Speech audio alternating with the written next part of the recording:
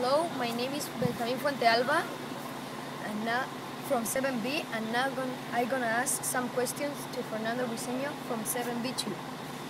What was your favorite part of this trip? Uh, really, most part of the trip was my favorite, but specifically Chiloé, because I like like the colors of the countryside and the the colors of the house, the church.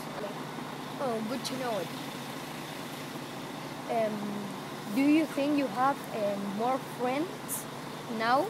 Yes, I think that because of I now I start talking with guys of other classes that I have never talked to, and now I think yeah I think that I have more friends.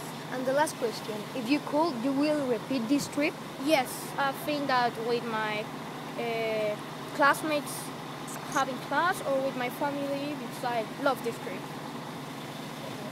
Thank you. Thank you.